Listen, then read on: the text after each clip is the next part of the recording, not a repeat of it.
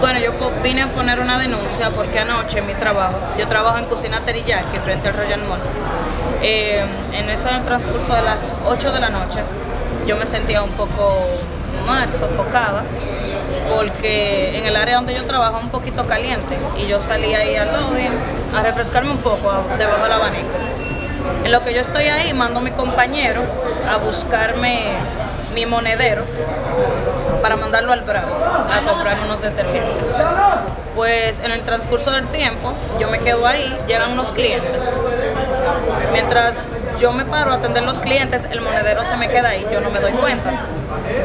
Pues nada, yo estaba atendiendo los clientes, llegaron más clientes, a mí se me olvidó el monedero ahí. En ese transcurso llega un seguridad pide una cena para comerse el año. ¿Pudiste identificar de qué compañía era? Sí, eh, la compañía no, pero según me dicen, él trabaja cerca de, por ahí. E incluso él andaba hasta aquí. Entonces, él pide la cena para comer allá. Yo inmediatamente mi compañero lo atiende, yo le cobro, le devuelvo su dinero que le queda. Y él, él va y se sienta justamente donde yo estaba. Inmediatamente él ve monedero, él hace esto, como que mira, se sienta despacio, pone las dos manos como para abrir el monedero. Cuando él se da cuenta de que hay dinero, vuelve y lo cierra, se pone el monedero en los bolsillos y va y nos dice que si le podemos dar una funda para él llevarse el servicio. E incluso yo me sorprendí porque no hacía ni dos minutos y dijo que se lo iba a comer allá, que tenía mucha hambre. Pues nada, aún así yo no me he dado cuenta todavía de que el monedero se me quedó ahí. Cuando yo me doy cuenta, yo reviso la cartera para sacar un dinero para comprar algo y el monedero no está ahí. Inmediatamente yo me mando para, para donde yo estaba y el monedero no está ahí. Entonces yo inmediatamente busqué la cámara del negocio y se ve el video cuando él coge la tarjeta y todo. Entonces yo lo que digo, ¿por qué tú no te conformaste con el dinero que estaba en, la, en el monedero?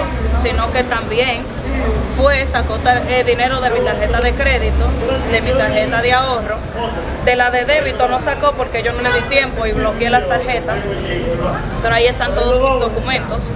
Ahí está mi seguro de mi niña. Yo soy madre soltera. Yo tengo dos trabajos para mantener mi hija, mantener mi casa.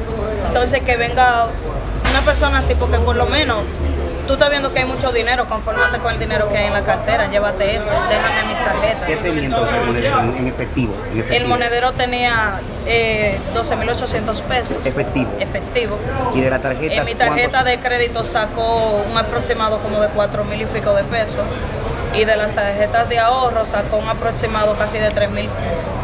Más de 20 mil pesos. Entonces. exacto. Entonces de la de débito no sacó nada porque yo bloqueé a tiempo. O ahí habían 14 mil pesos. ¿Usted se imagina? ¿Qué pedirle entonces a las autoridades?